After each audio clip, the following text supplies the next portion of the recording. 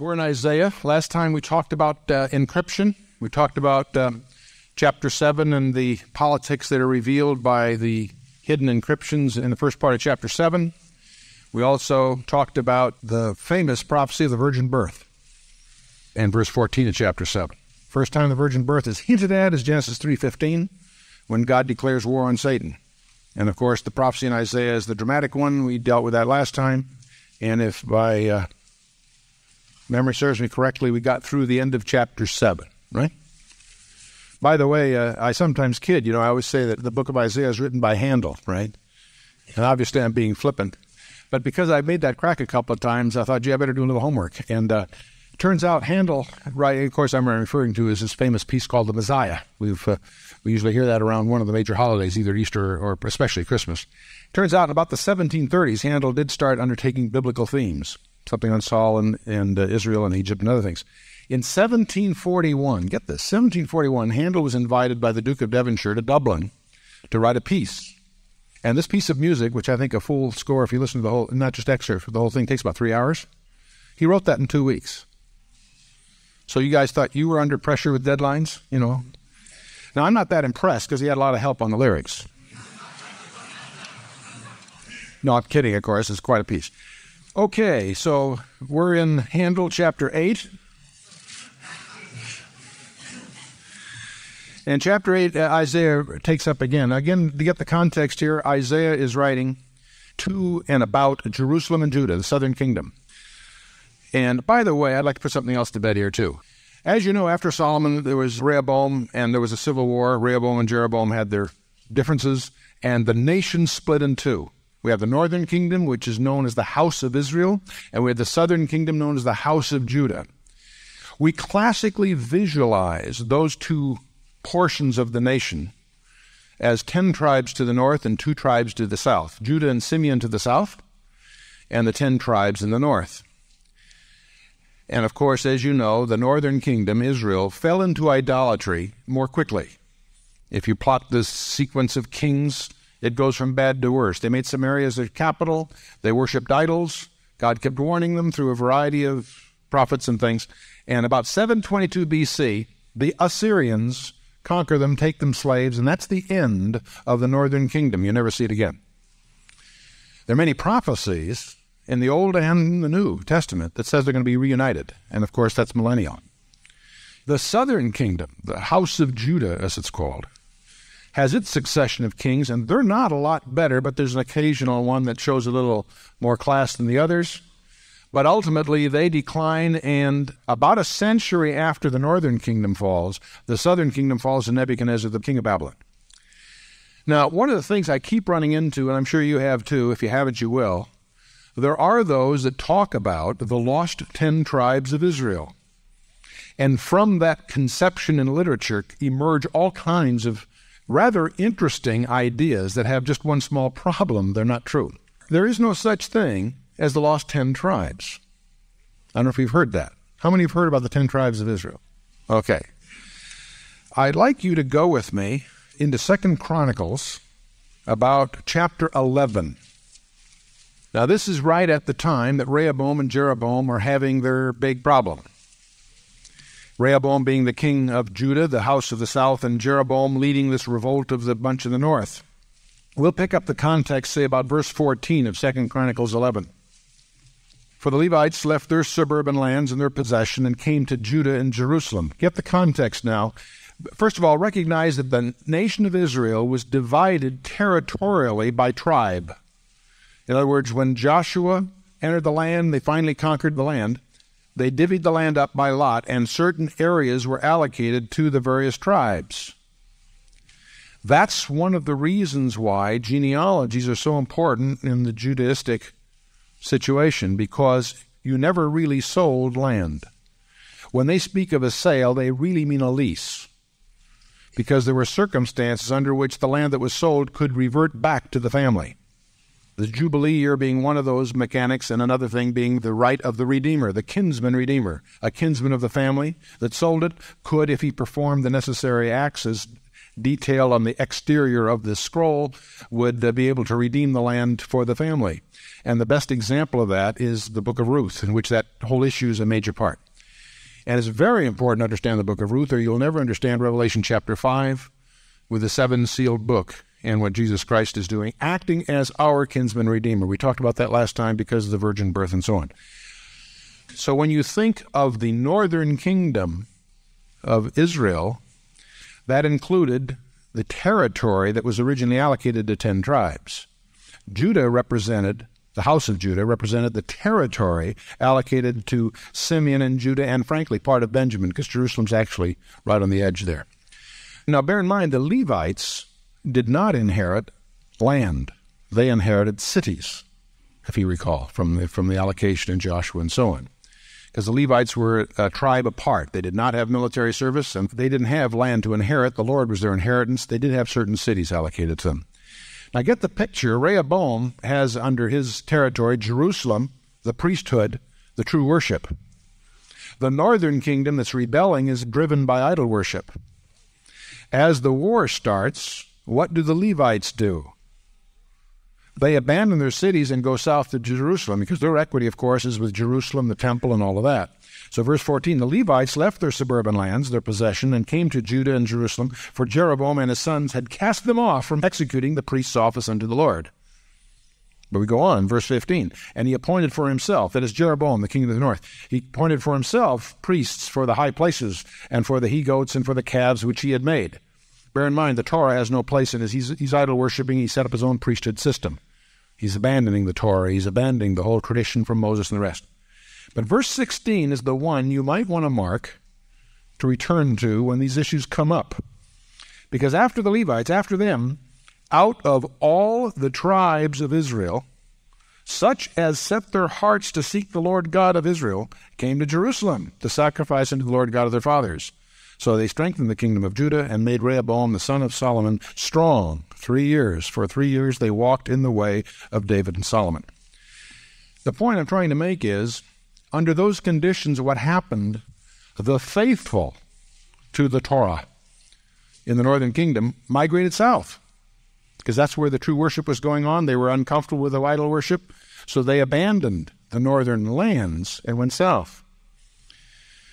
I don't think the scripture says this explicitly, but I also infer that those in the south that were not faithful, that wanted to seek idols, migrated north.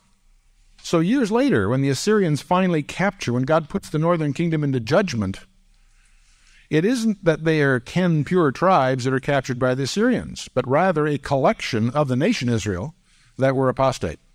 Follow me? So there really isn't a cogent, crisp collection of of wanderers called the Ten Tribes that somehow got lost in history and reemerged in Britain to become the throne of uh, Britain and all of that. There's a whole doctrine called British Israelism, and it's interesting, it's provocative, but it's just not true. Other than that, it's fine. So that keeps coming up when we talk about the northern ten tribes. That's really erroneous. That's a that's a tragic label. Just like when you talk about the West Bank, that's a term of Israel's enemies. You and I should use the term Judea and Samaria. In any case, so much for the ten tribes. But to get the picture now, Isaiah is talking at a time that Assyria is emerging as the dominant world empire. We read in chapter 7, the early part, how Syria, don't confuse Syria with Assyria. Assyria is further to the east, other side of the Euphrates, but Syria and the northern kingdom conspired against Judah, but God, through Isaiah, told them not to sweat it. They won't even exist for very long.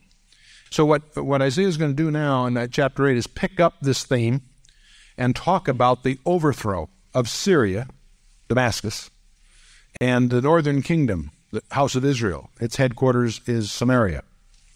And he will do this for chapter 8 and 9. Again, just like the last time, right in the middle of this dirge of judgment based on the local politics emerges some interesting little elements that constantly surface in the book of Isaiah that go far beyond the local scene. But let's jump in. Chapter 8, verse 1 Moreover, the Lord said unto me, Take a great roll and write in it with a man's pen concerning Maher Shalal Hashbaz. Boy, Isaiah did not have a facility naming his kids. But the meaning of the name, the previous one meant a remnant shall return. This one means the translation is, is not a lot of help. Plunder speedeth and the booty hasteth. I wonder what the kids in school said about it. I suppose it means haste makes waste. Those of you who want to do some background on this, the historical background that Isaiah is talking about is also mentioned in 2 Kings 16, roughly in that area, and 2 Chronicles 29. But in any case, Isaiah has two sons, and they're both named prophetically. The first one he took with him when he went to Ahaz and made this uh, prophecy about the, the virgin birth. The idea of naming him the remnant shall return was intended to be a light at the end of the tunnel kind of label. Because on the one hand, Isaiah is saying, hey, there's going to be a huge judgment coming. On the other hand, a remnant will return. And the kid was named to keep that in front of, of everyone. Bear in mind, Isaiah, again, to remind you, is high rank. Many of the prophets came from the rural communities. Isaiah was the opposite. He had access to the court, he has direct access to the king, he was on an intimate basis with the high priest. The vocabulary of Isaiah is greater than any of the other writers in the Old Testament. It's very eloquent. Almost every element in rhetoric emerges in Isaiah, from poetry to alliteration, you name it. You can make a list of all the techniques of writing, and they all show up in Isaiah. It's, it's, it's the high ground of Hebrew writing. But in any case, um, Isaiah has these two kids that, uh, well, first of all, he's naming this one before he's born. He says, Take a great roll, write in it, and, with a man's pen concerning Maher Shalal Hashbaz. wow, that's a I don't think I can do that twice. Verse 2 And I took with me faithful witnesses to record Uriah the priest and Zechariah the son of Jeberechiah, and, uh, or whatever. so, in other words, he writes this beforehand. And then he says, I went in unto the prophetess, and she conceived and bore a son. And then said the Lord unto me, Call his name, Maher Shalal Hashbaz. I can hear your mother calling, yeah. Verse 4 For before the child shall have knowledge to cry, My father and my mother, the riches of Damascus and the spoil of Samaria shall be taken away before the king of Assyria. The Lord spake also unto me again, saying, Forasmuch as this people refuseth the waters of Shiloah that go softly, and rejoice in Rezin and Remaliah's son, now therefore behold the Lord, and he goes on. Let me explain a little bit. The waters of Shiloah, that's waters of peace. It's idiomatic of welcoming the waters of peace. And rather than that, they rejoice in Rezin and Remaliah's son. In other words, the people are favoring this alliance that Ahaz was trying to cook up with Rezin, who was the king of Assyria, and uh, son, who was the that was Pekah, who was the king of the northern kingdom. Which God was saying, "Don't get into those alliances. You don't need to. I'm going to take care of it for you." Verse seven. Now therefore, behold, the Lord bringeth up upon them the waters of the river. Now in this case, the river is the Euphrates. And on the east side of the Euphrates was Assyria. This is the empire emerging, and that empire would be used by the Lord to conquer not only Syria, but also the northern kingdom. That occurs in about 722 BC. Up upon the waters of the river, strong and many, even the king of Assyria in all his glory, and he shall come up uh, over all its channels and go over all its banks, and he shall pass through or into Judah, and shall overflow and go over. He shall reach even to the neck, and the um, stretching out of his wings shall fill the breath of thy land, O Emmanuel, and so on.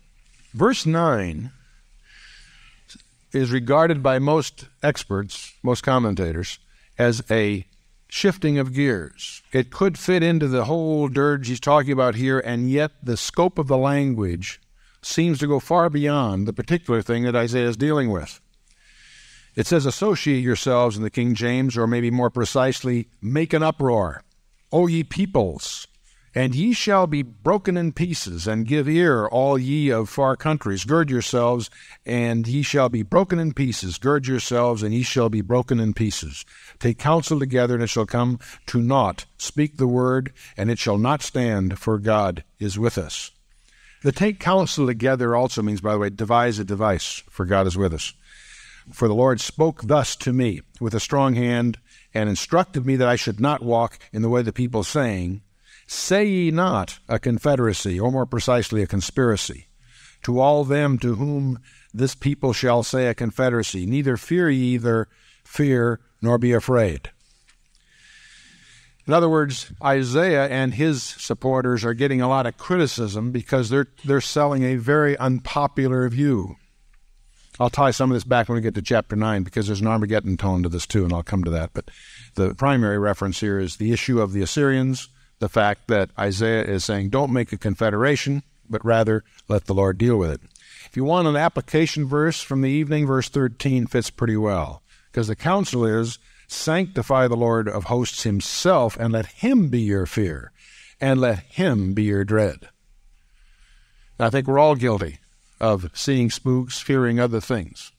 And what Isaiah is saying, which is the same thing that uh, 1 Peter 3.15 says, and uh, also Isaiah will pick up this uh, emphasis later in this book, is the idea that the only one you should really fear is the Lord himself. Sanctify the Lord, set apart the Lord of hosts himself. Let him be your fear, and let him be your dread.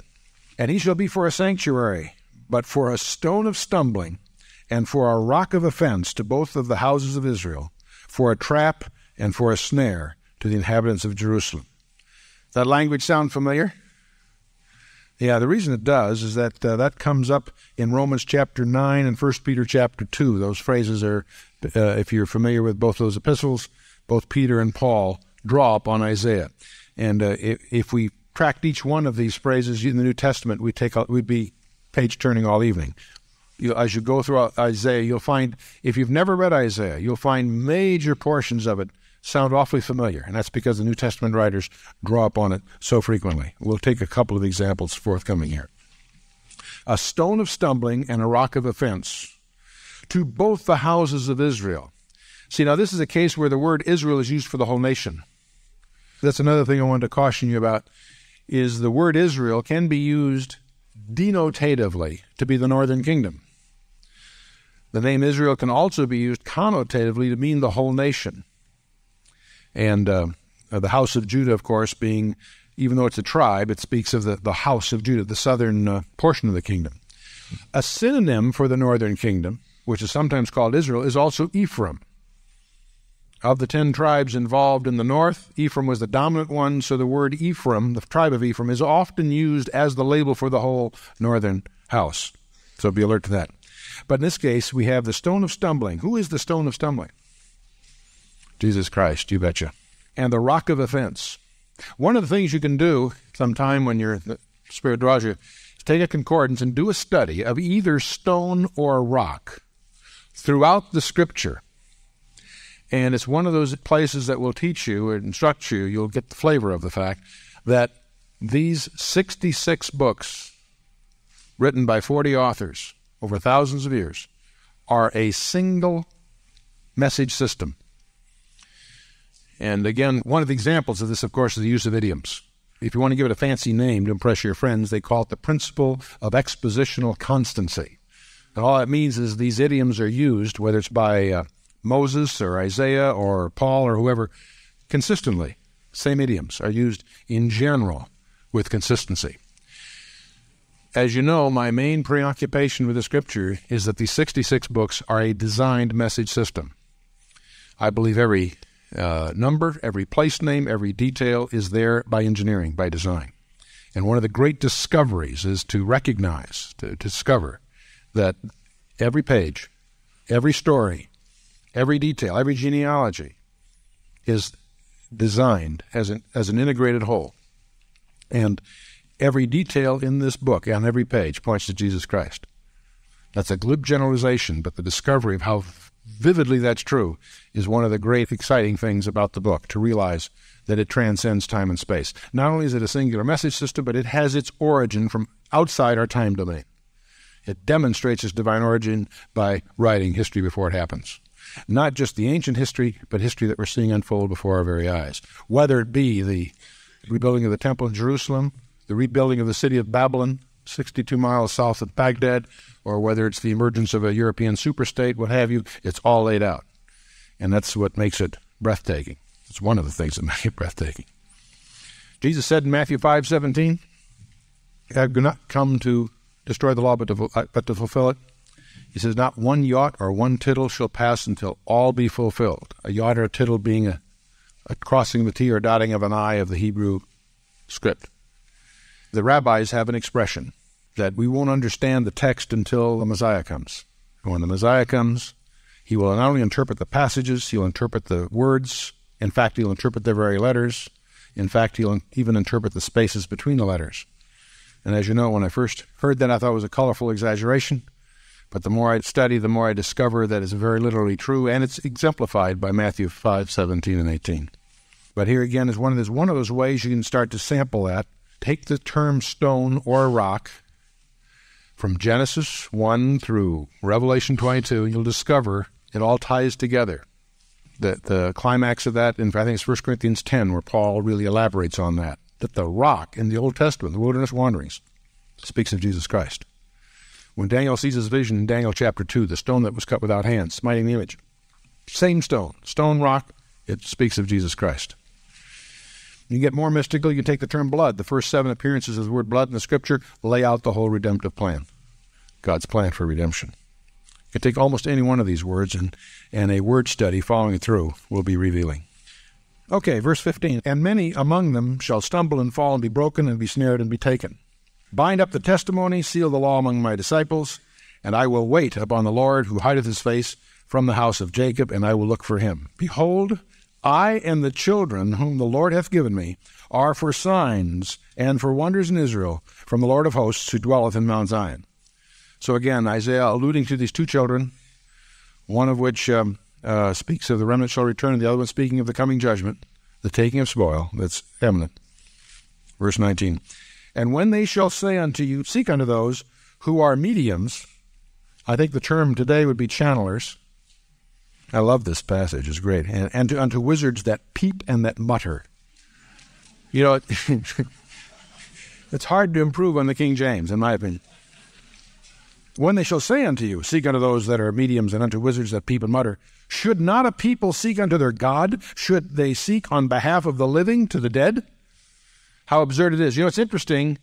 You know, as I grew up, and as I was reading the Bible, learning things, I could never quite relate to some of these injunctions. You go to Deuteronomy 18. In fact, we probably should, just to emphasize what's being talked about here, turn to Deuteronomy 18. I could never relate to some of these things because they sounded so medieval, so uh, archaic. I never dreamed. I never dreamed. I, I never thought I'd see the day when the widespread major topic among the so called intelligentsia are those same topics new labels. We call them channelers, the New Age, what have you. It's new labels for the same old heresies.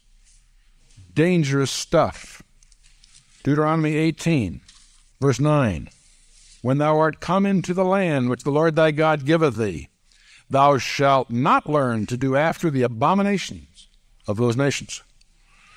There shall not be found among you anyone who maketh his son or daughter pass through the fire, or who useth divination, or an observer of times, a phrase referring to what we call today astrology, among other things, or an enchanter, or a witch, or a charmer, or a consulter of mediums, or a wizard.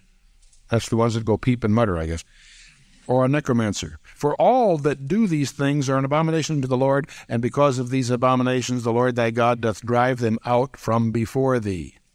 I don't know if you've been paying attention to the materials that are being distributed or the exercises and the instruction that go on in the California schools to your kids.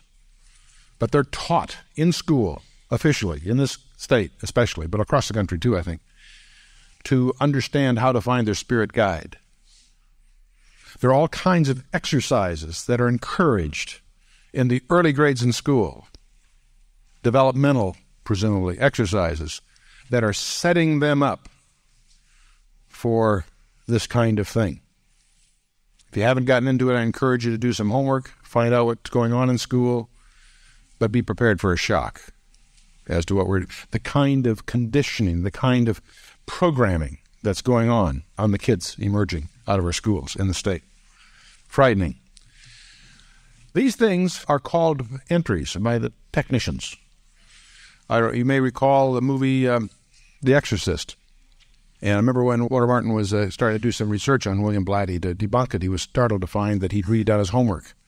That uh, while he didn't agree with the way the movie went, and the ending particularly, it was interesting that that was based on a case study, several put together. Valid research. How did all that start? Obviously, the movie took some dramatic side roads, but the main point is it was a valid case study in New Jersey. And it's interesting what starts all that a Ouija board. These things are dangerous fooling around with some of the New Age things are dangerous. It's not just a question of heresy and a divert, you know, heterodox approach to life or whatever. They're, it's far deeper than that, far more frightening than that. Dangerous stuff. And if you're interested in this area, there's obviously a number of experts. One of the ones that impressed me is the writings and tapes by Johanna Michaelsen. That's Hal Lindsey's wife's sister. Bright lady, a lot of background, dynamite stuff. I love one of her recent tapes. Her title of the tape is Can You Truly Find a Happy Medium? Bright, witty gal, lots of solid background. She's got uh, a book about the children, Lambs to the Slaughter. And uh, any Christian bookstore, ask for the writings of Johanna Michaelsen and take a look at them. I think you'll find them very competent, quite provoking, very scriptural. Okay, moving on. Verse 20. To the law and to the testimony, if they speak not according to this word, it is because there is no light in them. And they shall pass through it, greatly distressed and hungry and it shall come to pass that when they shall be hungry, they shall fret themselves and curse their king and their God, and look upward, and they shall look unto the earth, and behold trouble and darkness, dimness of anguish, and they shall be driven to darkness.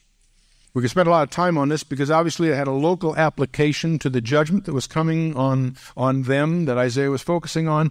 It doesn't take much spiritual insight to recognize there's a second application in a global sense forthcoming in the 70th week of Daniel sense in the judgment that's, uh, that's coming. Let's keep moving because in chapter 9 it starts with nevertheless. I'll count that part of chapter 8 or continuation thereof. We'll keep moving here. Nevertheless, the dimness shall be such as was in her vexation, uh, when at the first he lightly afflicted, that's your King James, I'll come back to that, lightly afflicted the land of Zebulun and the land of Naphtali, and afterward did more grievously afflict her by the way of the sea beyond the Jordan in the Galilee of the nations. Now, that verse, you can make something of it if you like, but let me save you some time. The word afflict in the Hebrew can be alternately rendered. So in the latter time he hath brought honor on the way of the sea. I know it sounds strange to our ears, but afflict and honor, it's a subtle subtlety of the Hebrew that the, the actual sense of the verse may be quite different than you get it as it would read in the classical English. Now, to get at this, so you don't think I'm just, you know, making this up, turn with me to Matthew chapter 4. The first 11 verses are very familiar to you, I'm sure. It's the famous temptation of Jesus Christ, as it's called. And you know, you, you know the three temptations where Satan tempts Jesus Christ, and each uh, misquoting the Word of God, by the way. So recognize that's one of Satan's favorite tricks. And that reminds you, of course, in your notepads to put Acts seventeen eleven. I haven't mentioned that in a while, but I want to make sure you're kept conditioned to that. Acts chapter 17, verse 11. Luke tells you not to believe anything Chuck Missler tells you. Right? It says that uh, Acts 17:11, speaking of the Bereans, these are more noble than those in Thessalonica, in that they in Thessalonica they had a big revival. Boy, they embraced the word, turned on great. Then he goes to Bereans. The Bereans were more noble than those in Thessalonica, in that they received the word with all readiness of mind, but they searched the scriptures daily to prove whether those things be so. And so I want to remind you that's uh, the capstone of our ministry. You know, you've got to distrust me adequately to do your own homework.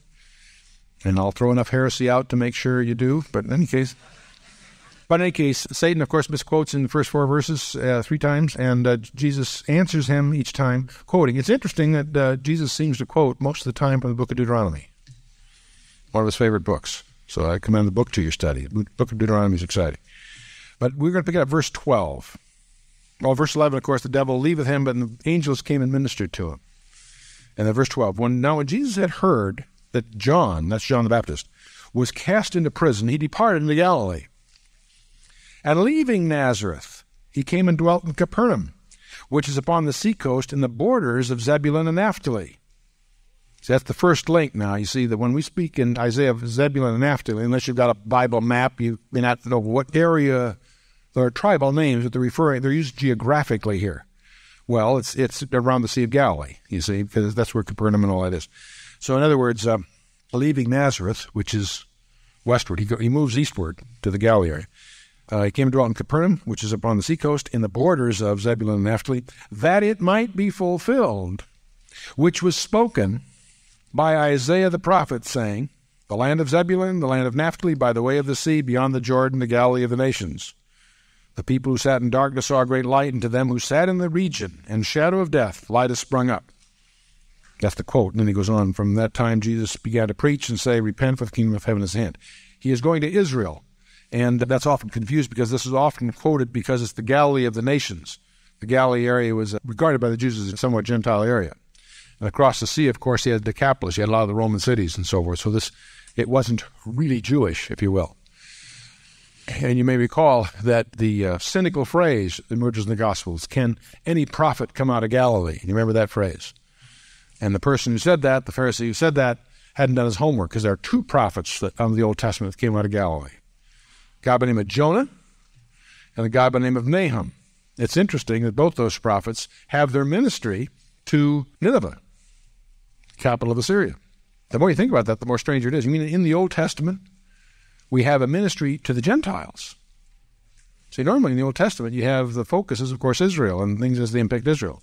But twice we have a prophet raised to go to Nineveh. Jonah, as you recall, not only does he go there reluctantly, to say the least, but then when he has a amazing revival, he's upset about it. First of all, I didn't want to go in the first place. That didn't work. So when he finally does go, he runs around town with the dourly saying, 40 days and comes destruction, that's a real sales pitch, isn't it? The king of Nineveh repents, and the town puts sackcloth and ashes, and they repent. So God forestalls the judgment. What's Jonah's reaction? I knew you'd do that. He wanted them judged. He had no use for the Nineveh. They, they were his enemies, you know. I suppose the analogy is probably not a far fetched one, is, uh, is to have a Jewish prophet sent to the Nazis. See? Didn't want to, wouldn't be too exactly excited about going. But then when they repent and they're saved, that really tees them off. See? So, about a hundred years later, Nahum is called to go to Nineveh and they get the judgment. But they're both interesting. They're both out of Galilee. Anyway, uh, this is this this passage in Matthew alludes to that and lifts off chapter nine, verse two on, as we talked about. The other thing I want to mention was that Matthew. If you notice, there's a slight difference in language. Matthew is quoting from the Septuagint. Now, one of the things, and it's not that big a deal here, perhaps. One thing I want you to keep in mind is that the book of Isaiah that you and I have was translated into Greek three centuries before Christ was born. About 285 BC, they started, they finished about 270 BC. The fact that it was in black and white, three, almost three centuries before Christ was born, will be very important to us, not just because of the messianic prophecies, but because of some other things also that Isaiah will lay out for us in breathtaking detail as we move. But let's keep going so I don't misuse my time here. Verse 2 The people that walked in darkness have seen a great light. They dwell in the land of the shadow of the death, and upon them hath the light shined. And of course, that was the, the quote we just finished reading in uh, Matthew. Verse 3 Thou hast multiplied the nation and increased the joy. In the King James, it says not increased, but most scholars believe that's an error. There's a very subtle detail on one of the Hebrew letters that changes the sense of it. And many of the experts believe that that is one of the subtle errors. It actually turns out that with the not in there, you can make a sense of it. It has an impact. But uh, the best scholarship comes down on the side. The word not is not there. It's one of those those details. But anyway, thou hast multiplied the nation and increased the joy. They rejoice before thee according to the joy in the harvest, as men rejoice when they divide the spoil. For thou hast broken the yoke of his burden and the staff of his shoulder and the rod of his oppressor, as in the day of Midian. Now, that may confuse the rod of his oppressor. That, that phrase in the Hebrew is equivalent to taskmaster. When I use that phrase, of course, that echoes a little more of Exodus 5 and all of that. When Moses came from Midian, remember, and had his dialogue with Yul Brynner, you know. Okay. Now, by the way, there, it's interesting that in verse 5, for every battle of the warrior is confused with noise the garments are rolled in blood, and this shall be with burning and fuel of fire. It's kind of interesting that if you start studying the Battle of Armageddon, not just in Revelation 16, but also in the Old Testament, those same three elements are there. Your reference, of course, to Revelation 16, starting about verse 14. In Zechariah 14, 13, this idea of the armor and tumult, that makes sense. Isaiah 63 is going to talk a great deal about Jesus Christ bloodstains as he fights for his people in Isaiah 63, and it also ties to Revelation 14:20. The idea of being rolled in blood is very vivid as we get to Isaiah 63. And then the burning and the fuel of fire and all of that is reminiscent of Isaiah 66 and uh, Joel 2. We're going to talk enough about that later when it gets much more of the main theme, so I won't badger it now, other than just to mention that some of these same patterns are emerging in the language of Isaiah early here. Verse 5 For every battle of the warrior is confused with noise, the garments rolled in blood, and this shall be the burning. Those three, the structure of that sentence is very much the structure of those prophecies about Armageddon. But all of this is sort of rushing through lightly because we're going to get plenty of this before Isaiah 2. But we're now going to encounter, as Isaiah does, two verses that leap out at you as two of the most elegant verses in the Old Testament. They are rich with uh, significance. By the way, a couple of things. Uh, when you're in Israel, you'll come across the idea that one reason they did, the Jews did not accept Jesus Christ as the Messiah is because he didn't bring them their temple. You see, and it's interesting. They're setting themselves up for one who is going to be accepted as Messiah, who will bring them their temple. Okay, but part of that whole idea is today they argue that the Messiah isn't the Son of God; he's just a great leader. That's the the conception is altered. The idea that the Messiah of Israel is to be the Son of God is clear in the Psalm. Psalm 2 makes hammers that home. Well, all through, you can, you can, you can make a whole study of the predictions of the Messiah, the foot, I call it the footprints of the Messiah in the Old Testament, that he indeed is the Son of God. One of those passages right here before us. Verse 6 and 7 of Isaiah. You've heard it a dozen times, you've seen it on Christmas cards. And it's tragic that sometimes the most familiar verses are the ones we skip over because we don't really catch everything that's there. Let's try to look at it freshly. For unto us a child is born. Unto us a son is given. Let's just start with that. It's very typical in Hebrew poetry to have two ideas in juxtaposition. You and I think of poetry in sense of sound or meter, and the Hebrew does too occasionally, but that's not the emphasis. The emphasis in Hebrew poetry is the juxtaposition of ideas. You notice that a lot in the, all through the Proverbs. They're all structured that way. They, they seem to say the same thing twice, two different ways. Sometimes they're the same thing twice, and sometimes they're the opposites. But they're always two ideas in juxtaposition. Psalms, you see that too, but the Proverbs probably is the most vivid, particularly in English. Well, here you have, For unto us a child is born, unto us a son is given. Very Jewish kind of sounding phrase, but recognize that's not the same thing. For unto us a child is born. That speaks of his humanity. For unto us a son is given. John 3:16. For God so loved the world, right? That he gave us his only begotten son. It's right here in the first few sentences. A child is born, a son is given. It's an echo, in a sense, of Isaiah 7:14 that we spent time on last time. The virgin birth. Then it goes on. And the government shall be upon his shoulder. When did that happen? When did Jesus Christ have the government on his shoulder? Oh, Only thing I remember on his shoulder was a cross, huh? When did Jesus Christ have the government on his shoulder? Don't think he did. That's yet future. And be on the alert for the heresies that are again emerging in the Christian church. These are heresies that almost destroyed human history the last 19 centuries. The idea that God is through with Israel. Nonsense. Those arguments should have ended on May 14th of 1948. God is not through with Israel. Paul spent three chapters in Romans hammering that home that Israel is set aside temporarily. Israel is blinded until the fullness of Gentiles be come in. Come in where? Remember Romans 11:25. We quote it all the time. For blindness in part has happened to Israel until the fullness of the Gentiles be come in. What is the fullness of the Gentiles? The church. Come in where? And as I've mentioned several times, but I'll just hammer it again, I believe God's dealing with Israel and the church is mutually exclusive. Church was not started until Israel had rejected the kingdom. The church will be complete before God once again takes up Israel. Jesus Christ is coming back. He's coming back twice, once for his church and once for Israel.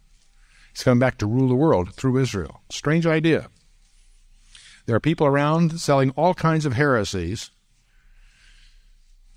that the promises to Israel devolve on the church. Because Israel rejected her Messiah, she forfeited those promises, and those promises now are the church, and they speak of spiritual Israel and so forth. 73 times in the New Testament, Israel is mentioned always nationally. Always, well, there's one that's maybe a little gray, but 72 of the 73 clearly nationally, national Israel. Jesus Christ speaks twice in the seven letters, seven churches of those that would call themselves Jews and are not, those that would make the church Israel, which is not. Paul divides the world into three categories Jews, Gentiles, and the church. If you're in the church, you're neither Jew nor Gentile, you're in his body. Don't get confused on that point. Jesus Christ says, Those who say they are Jews and are not are the synagogue of Satan. That's Revelation chapter 2, verse 9. He says the same thing again in Revelation 3, chapter, uh, uh, verse 9. So be on the alert for some strange ideas that are widely sold, widely sold on TV and radio and tapes and books.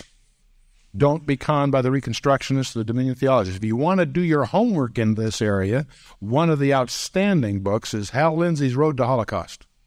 Those doctrines led to the Holocaust in Europe, and those doctrines are going to lead to the Holocaust again. That's going to make the last one look like a small beginning. You often see on in Israel, never again. Sorry, wrong. Daniel in chapter 12 says there would be a time of trouble, yet future, that the world had never seen, never would see again. And Jesus quoted that as being yet future from the time from the abomination of desolation. In his private briefing to his disciples in Matthew 24 and 25, the secret briefing he gave to Peter, James, and John and Andrew, and the key, the key verse of that is verse 15. When you see the abomination of desolation spoken of by Daniel the prophet. Highly technical thing, but learn what it is. Do your homework. That ushers in a time of trouble that the world has never seen to that day. It's interesting, of course, Jesus was crucified. Uh, 38 years later, the Roman legions under Titus Vespasian leveled the city. It's interesting that Caligula ordered Petronius to put his image in the Holy of Holies. He tried, that would have been the abomination of desolation. Petronius found out the reaction of the Jews and decided not to do it. Caligula ordered his death when he found out. He obviously was angry. Caligula died. The message at sea that got to Judea on Caligula's death preceded by some strange set of circumstances the, the, the order for Petronius' death. And so he never was executed. But it's interesting that the Romans tried to execute a abomination of desolation. Those days never pulled it off. Abomination of desolation never happened. It's going to happen. And television coverage is predicted. News at 11, huh? verse 6. The government shall be upon his shoulder. Well, that's a strange idea. Is that a New Testament idea? You bet it is. Let's look at Luke chapter 1, verse 32 and 33. I've mentioned this before, but I'll keep it in front of us because there are those that are going to try to confuse you on this subject. When Gabriel is telling Mary about the birth of Jesus Christ in Luke chapter 1, in verse 32, he says, Gabriel tells Mary, He shall be great, he shall be called the Son of the Highest, and the Lord God shall give unto him the throne of his father David. That's not the throne of God the Father that he's on now, it's the throne of his father David. And he shall reign over the house of Jacob for a thousand years. Is that what it says? Forever. That ever. That ever. To take Candle's version. And of his kingdom there shall be no end. What's the thousand years? Well, a thousand years is the, the interval between the resurrections and the interval during which Satan is bound. Different issue. How long is, how long does Jesus Christ reign over the house of Jacob? And why is it called the house of Jacob? So you don't get confused about Israel. It's 12 tribes. Peter wrote his letters, check them, to the 12 tribes of Israel. There are no lost 10 tribes. Anyway, enough of that. Back to chapter 9. For unto us a child is born, unto us a son is given, and the government shall be upon his shoulder, and his name shall be called Wonderful, Counselor, the Mighty God, the Father of eternity, to be precise, the everlasting Father, and the Prince of Peace. Some people say there's four titles because they say it's Wonderful Counselor. That sounds neat because it makes a neat little package and there's some aspects to it, except they're both nouns. Wonderful, Counselor, and so on. When was Jesus Christ called wonderful? Boy, gotcha, huh? Judges 13. Judges 13. This is where you murmur and say, oh, yes, like you remember, see? Okay. You all know the story of Samson, or at least part of the story of Samson. His parents were told supernaturally beforehand that he'd be born. Manoah, his father, gets a special announcement. Verse 8 Manoah entreated the Lord, said, O my Lord, let the man of God whom thou didst send come again unto us, and teach us what we shall do unto the child that shall be born. And God hearkened to the voice of Manoah. And the angel of God came again unto the woman as she sat in the field, but Manoah her husband was not with her. The woman made haste and ran, told her husband, Behold, the man hath appeared to me, and who came unto me the other day. And Manoah arose and went after his wife, and came to the man and said, Art thou the man who spoke to the woman? He said, I am. Interesting phrase, I am. I'm always alert to that because that's the voice of the burning bush. Not necessarily here, it may turn out to be, but I'm just be alert to that. Because when Jesus said to the Pharisees, Before Abraham was, I am, we miss what he said, but the Pharisees didn't. They tried to stone him because he was declaring to be the voice of the burning bush. And Manoah said, Now let thy words come to pass. How shall we order the child, and how shall we do unto him? The angel of the Lord said unto Manoah, Of all that I have said unto the woman, let her beware. She may not eat of anything that cometh of the vine, neither let drink wine or strong drink, nor eat any unclean thing. All that I command that her shall uh, let her observe. And Manoah said unto the angel, Lord, I pray thee, let us detain thee until we shall have made uh, ready a kid for thee. And the angel Lord said unto Manoah, Though thou detain me, I shall not eat of thy food. And if thou wilt offer a burnt offering, thou must offer it unto the Lord. For Manoah knew not that he was an angel of the Lord. And Manoah said unto the angel of the Lord, What is thy name? that when thy sayings come to pass, we may do thee honor. That's kind of interesting. The angel normally would say, gee, don't do me honor. Do, I'll worship the Lord only. But this angel is interesting. It's like the one in Joshua 5. He allows a certain degree of deference here, doesn't he? Interesting. The angel Lord said unto him, Why askest thou thus after my name, seeing it is what? Wonderful.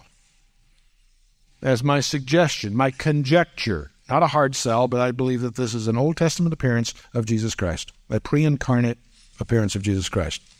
And it goes on, you can read the rest of the story of Samson on your own. His name called Wonderful. Now you can you can take that many ways. Another way to say another answer if when was Jesus Christ called wonderful, I'd say the first few verses of the Gospel of John. In the beginning was the Word, capital, title. Who is it? Jesus Christ. All things are made by him without him was not anything made that was made. He is the creator of the universe. You know, in our mind's eye, we often visualize, well, that's God the Father. Somehow Jesus, we see him as the Redeemer. Boy, he's, he's the creator himself. It says so clearly in John chapter 1. He was crucified on a cross of wood, yet he made the hill on which it stood. His name shall be called Wonderful, Counselor. Boy, that's easy lots of places that you can point to Jesus Christ as counselor, but let me give you an unusual one Proverbs chapter 8. And this is perhaps a little speculative, but it's uh, conjectural. But the eighth chapter of the book of Proverbs extols wisdom. The real subject of chapter 8 of Proverbs speaks of wisdom, but it personifies it in the first person singular. And there are some scholars that feel it is idiomatic of Jesus Christ. But in any case, he is the counselor. On it goes. I mean, there's many places that that is expressed. The mighty God. The word is El. There's many places that the, the, the title of God, the name El, El this or El that, alludes to Jesus Christ, but we've just read one of them last week. Remember? Isaiah chapter 7, verse 14. The virgin shall conceive, bear a son, and call his name what? Emmanuel. Okay? And that turns out, anyway, that's the, the mighty God. Now, the next one's a little confusing. The everlasting Father. On the one hand, Jesus says, I and the Father are one. At the same time, John also, in his first three verses of his gospel, makes clear that there's distinction between them. What that translation should say is the Father of eternity. The Father of eternity. You and I have no capacity to imagine or even conceptualize eternity. And as I've mentioned several times, I'll remind you, you know, we all live in timelines. We tend to think of time as linear and absolute because we do our little timelines in school on the blackboard. We start at the left, go to the right with a little line, a birth, a death, whatever. And so when we come to conceptions like eternity, we think of a line that starts at infinity over there and goes to infinity over there. We think of inf- eternity as having lots of time. Well, that's tragic because that's not what eternity is all about. Eternity is being outside the time domain altogether. In modern physics, we know that time is a physical property. You tell me your mass and your acceleration and what gravitational field you're in, and you have, then we can relate to your time. In the absence of that, there is no time. We talked about that in Genesis. God created the world in six days. Were they 24 hour days? I don't know. But in in Exodus chapter 20, verse 11, it clearly he intends us to understand them as 24 hour days. Who's 24 hour days? God's. Who's around? Adam wasn't. Didn't show up till day five, day, uh, day six, excuse me, right? That's when the clocks sync. So on our clock, it's 15 billion years, or pick your number. In God's clock, it's six days. So the whole issue of how many days it has to do with an ignorance of Einstein's theory of relativity. It's relative. Tell me the mass of God and his the gravitational field he's in, and we can talk about his timeline. See, that's our own ignorance. You talk about fate versus free will. Are we predestined or do we have choice? Hey, that issue only comes because we're in, within a half a dimension of time. We live in three spatial dimensions, height, width, length, and a a half a dimension of time. I say half a dimension because we can move forward and look back. We can't look forward and move back. It's half a dimension. Right? How many of you remember tomorrow? if I get any hands, I want to see you later, right? But see, the whole paradox that we think of as a paradox because we're within the time domain. If you've had any training in paradox resolution, the way you knew that is you go up one scale, the meta system, if you will. And that, that problem goes away once you realize you're outside, that God is outside time altogether. And without the benefit of Einstein's uh, general theory and without the benefit of modern physics, H.A. Ironside many years ago dramatized exactly this issue with what is now known rhetorically in the field as Ironside's door.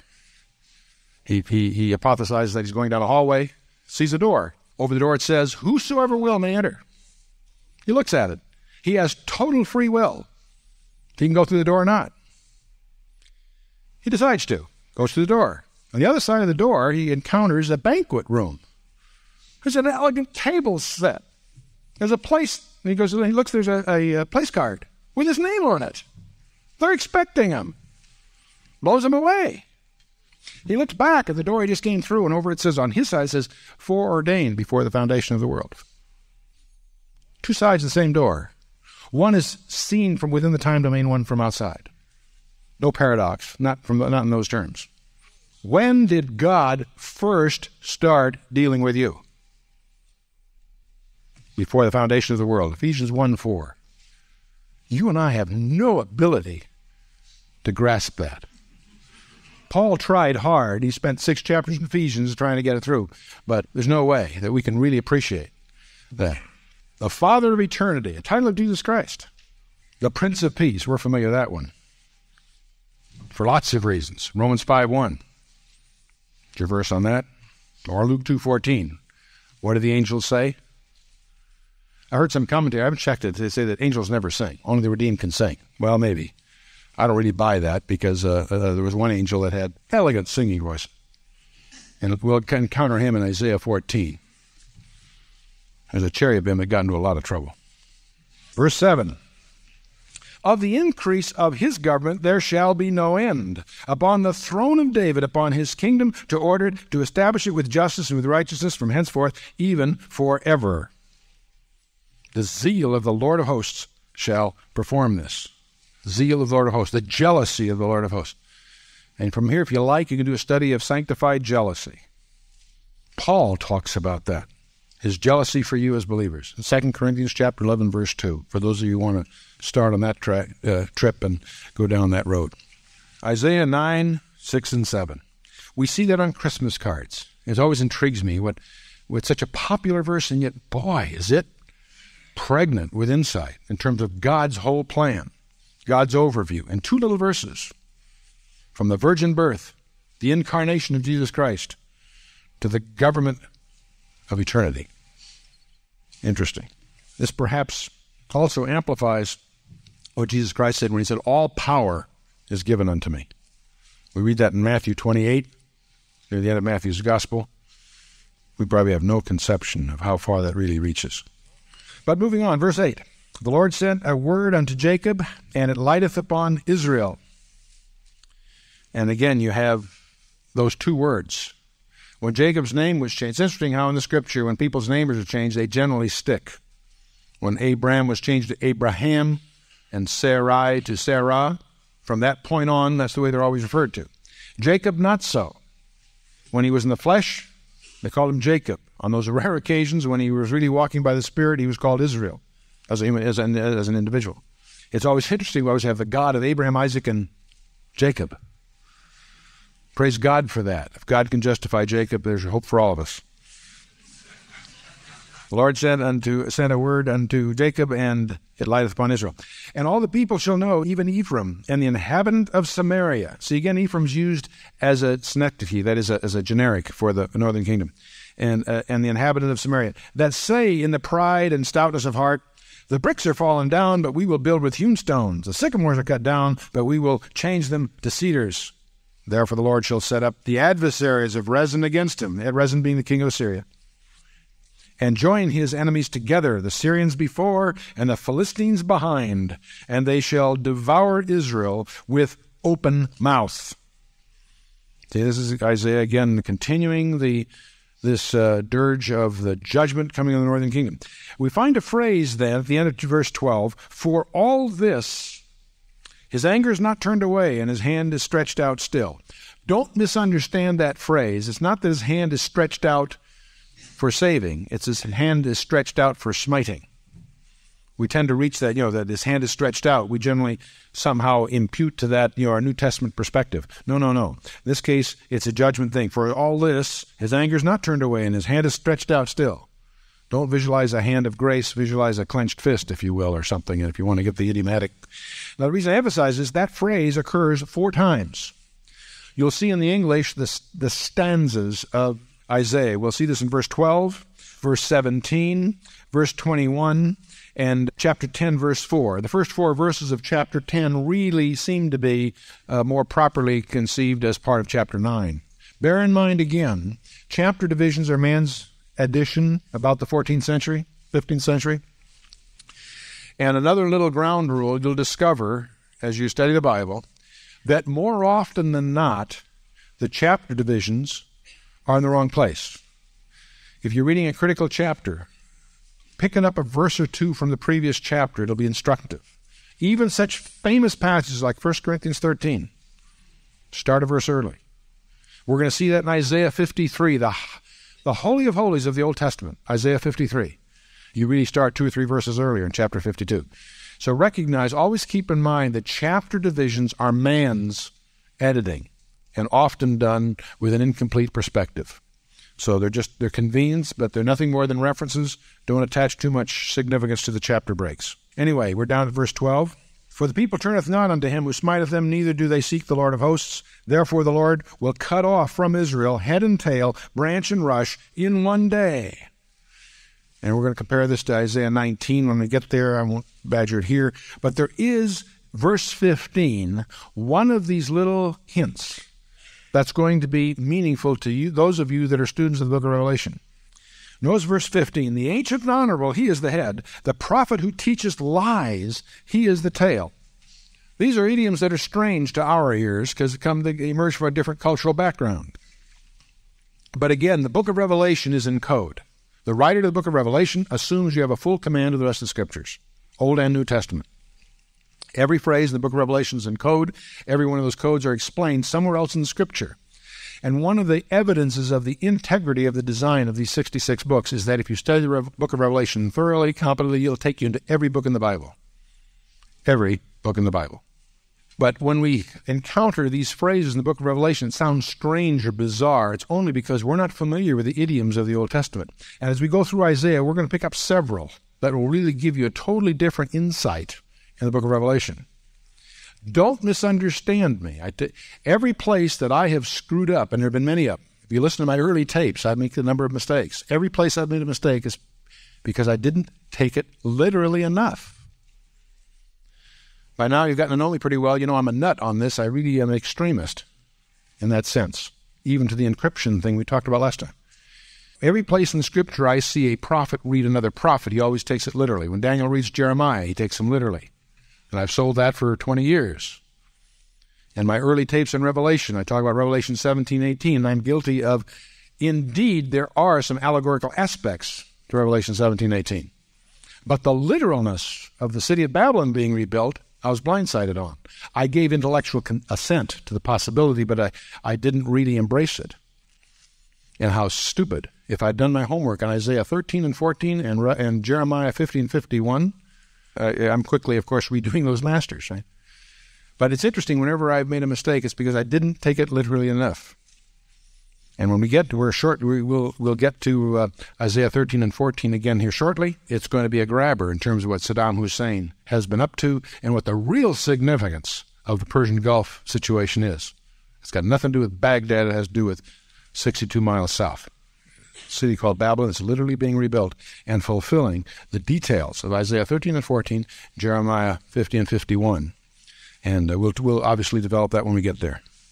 But here's the insight the ancient and the honorable, in other words, the reliable prophets, the ancient and the honorable, he is the head. And the prophet who teaches lies, he is the tail. Now, those are idioms that are a little strange to our ears, yet remember those because in the book of Revelation, you've got all kinds of torment that are in the tails. Revelation 9 and so on. So bear that in mind as you go in those forages. Verse 16 For the leaders of this people cause them to err, and they who are led of them are destroyed. You know, I can't help but think how, and I'm hoping most of you in this group are well instructed so you can just chuckle with amusement at the characters. I'll try to use euphemistic words, I am on a public platform, of the so called Jesus seminar. You know, I suppose if they cast enough votes, maybe God would resign. I think it's a the, the, these guys who have fancy degrees, who have stature in uh, of sorts in some academic community, who have no concept of what the Bible is all about. Well, Jesus really didn't say this. Well, wait a minute. Most of what he said were quotes from the Old Testament. What do you do with the Old Testament? The one thing that really comes home is if you're going to buy the package, buy the whole package. Don't start cutting scissoring it, or it'll all unravel. What makes the Bible exciting is its integrity. Every word, every number, every place name, every detail ties together in ways that we're just now discovering in the original texts and what have you. So, anyway, what scares me is how they're going to be held accountable. You know, it's one thing for you and I to make a you know, an error or a, a blind side on some subtlety. It's quite another to be unabashedly apostate, to unabashedly, publicly, before audiences of millions, cast clouds on the words of Jesus Christ. We call him our kinsman redeemer. We need to remember what the kinsman redeemer really was all about. You and I look to Jesus Christ as our kinsman redeemer because he's redeeming the land to Israel, he's redeeming us to the Father. Fantastic. The kinsman redeemer is also the avenger of blood. In the family, if there was an injury to the family, the kinsman redeemer was the one. He's the avenger of blood that the guy was fleeing to the city of refuge on. And we're going to see that presented in Isaiah as we get later in the book. For the leaders of this people cause them to err, and they who are led of them are destroyed. Remember what Jesus said if someone caused the least of these, speaking of the children, to err, it would be better if he had never been born. Better if a millstone was hung around his neck and so forth. Remember those the strong language. Didn't mess around. Verse 17, Therefore the Lord shall have no joy in their young men, neither shall he have mercy on their fatherless or widows, for every one is a hypocrite and an evildoer, and every mouth speaketh folly. And here's that phrase again. For all this his anger is not turned away, but his hand is stretched out still. In other words, it ends another stanza. Verse 18, For wickedness burneth as the fire, shall devour the briers and thorns, and shall kindle in the thickets of the forest, and they shall mount up like the lifting up of smoke. Through the wrath of the Lord of hosts is the land darkened, and the people shall be as the fuel of fire. No man shall spare his brother. And he shall snatch on the right hand, and be hungry, and shall eat on the left hand, and they shall not be satisfied. They shall eat every man the flesh of his own arm. Rough stuff. Manasseh, Ephraim, and Ephraim and Manasseh, and they together shall be against Judah. For all this, his anger is not turned away, but his hand is stretched out still. There's one more stanza of the same kind of dirge here. We'll take the four verses of chapter 10 as part of our study of 9. Woe unto them who decree unrighteous decrees and who write grievousness which they have prescribed, to turn aside the needy from justice and to take away the right from the poor of my people, that the widows may be their prey, that they may rob the fatherless what will ye do in the day of visitation and the desolation which shall come from far? To whom will ye flee for help? And where will ye leave your glory? Without me they shall bow down unto the prisoners, they shall fall under the slain. For all this, his anger is not turned away, but his hand is stretched out still. And he's going to continue then and talk about the judgment coming upon Assyria, and then he'll talk about the remnant returning and so forth. And we'll stop there for tonight rather than start getting into that. Next time we'll talk about not only chapter 10, we'll finish this judgment on Assyria. We'll jump into chapter 11. Chapter 11 has a lot to say that will be useful to your understanding of the book of Revelation because it deals with idioms for the Holy Spirit that are very unique to the Old Testament, very foreign to our ears in the New. And that'll help illuminate several things in, in the book of Revelation. He'll also talk about the return of Israel the second time. The first time was after Babylon, the second time started May 14th of 1948. We'll talk a little bit about that. We'll probably take the occasion to review the passage in Ezekiel that predicts the very day that Israel was reestablished as a nation and the very day that the city of Jerusalem on June 7th fell under the Star of David. So we'll talk about that a little bit next time. You'll notice as we move through Isaiah, it gets more and more contemporary. Right now, we're obviously heavily hitting this judgment on Assyria. And you and I have sort of a passing interest in that because it's history. There are a few places where it echoes of, of coming judgment in the future, but they're sort of veiled at the moment. But it's interesting. You know, we sit here and we hear Isaiah prophesy and hammer away at Ahaz and the people of what's coming. And we can't help but sort of smugly, from the comfort of our own chair, saying, gee, didn't they listen? Didn't they see it was coming? I mean, after all, they had plenty of warning, right? Wait a minute, gang. The Bible says that at the time of the second coming of Jesus Christ, there's going to be a super state emerging in Europe. Daniel 2, Daniel 7, Daniel 9, on it goes. Right now, we're seeing the sovereignties of those nations coalesce, Kohl and the others. We have a super state in Europe, a population three times the size of the United States, industrial might that is the classic heartland concept for control of the planet Earth, emerging in Europe while all this is going on. That's kind of interesting. The Bible says, well, all this is going on. The Soviet Union is going to arm our allies. It lists the allies, they're all in place.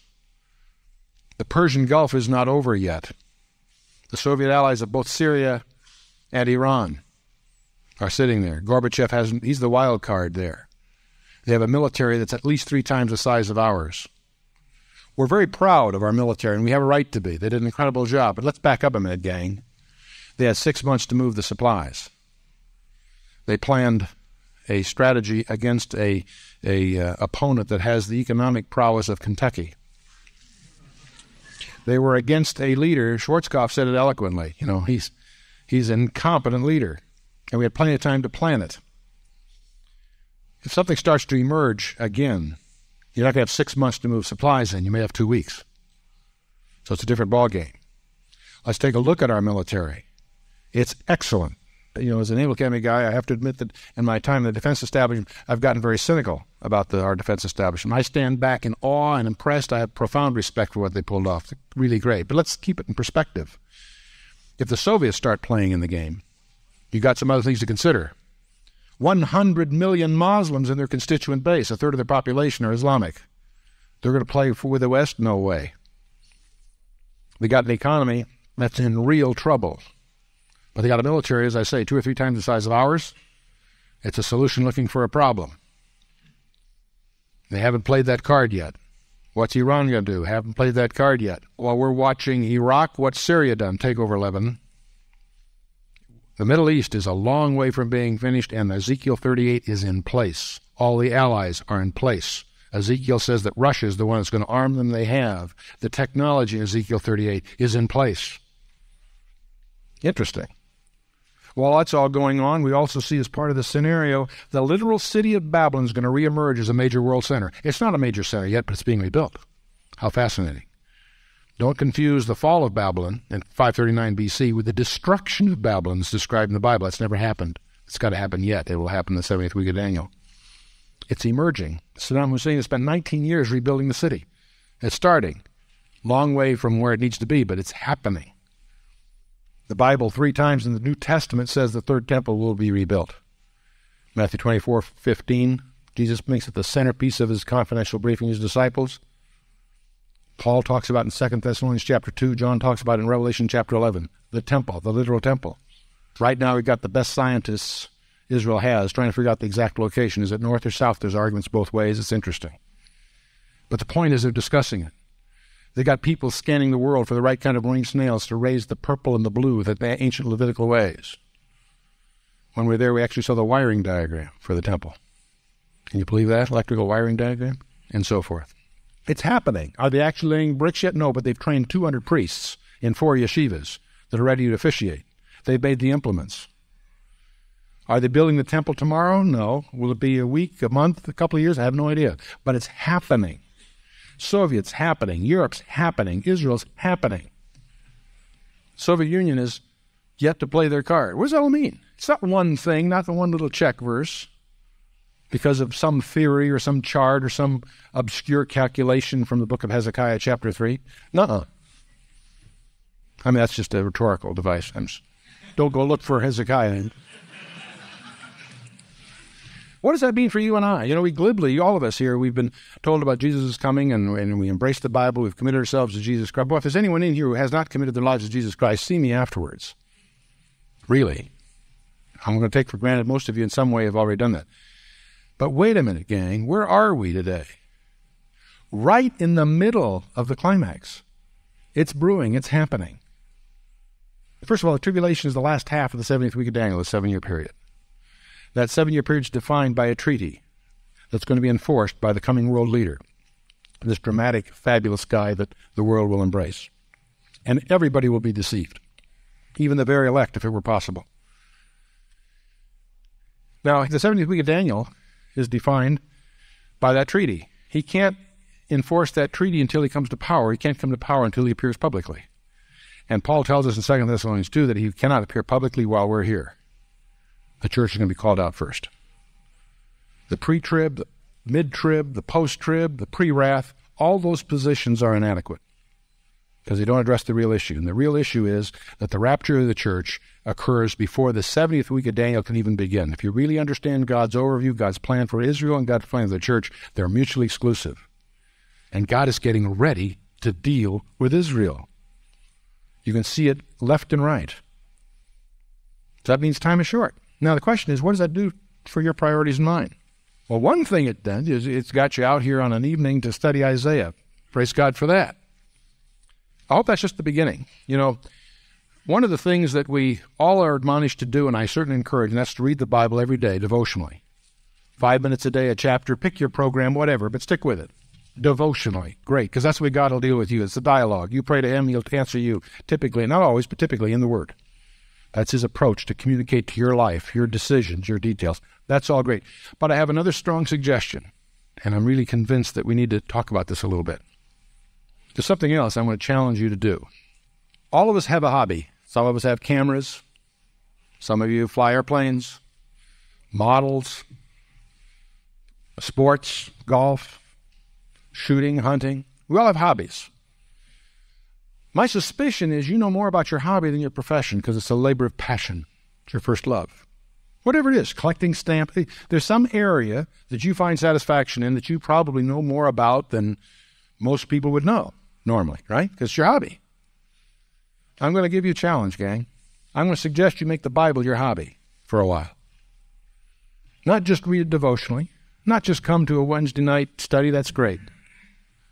But make a commitment to yourself between you and the Lord to learn this book, these 66. but Take one at a time, whichever one sort of the Spirit draws you into.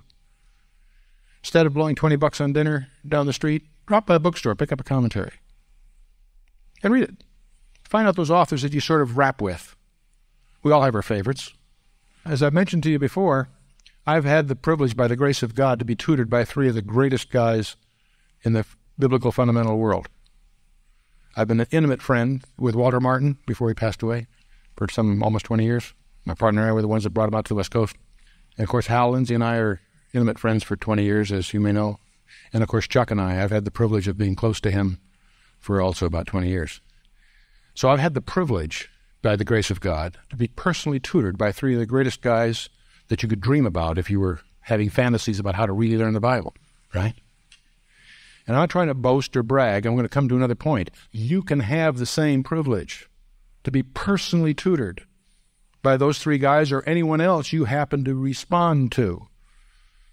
You can do it at your home, in your car, while you commute, or in your workshop on Saturdays, while you're cleaning up the bench or whatever. It's called cassette tapes. I've, over the years, had more people tell me they've learned more in six months with tapes than they have in 12 years of Christian schools and seminary put together about the Bible. Going to suggest to you that this is God's Word. It's supernatural. It'll impact your life. But don't just read it devotionally. You should do that. Don't misunderstand me.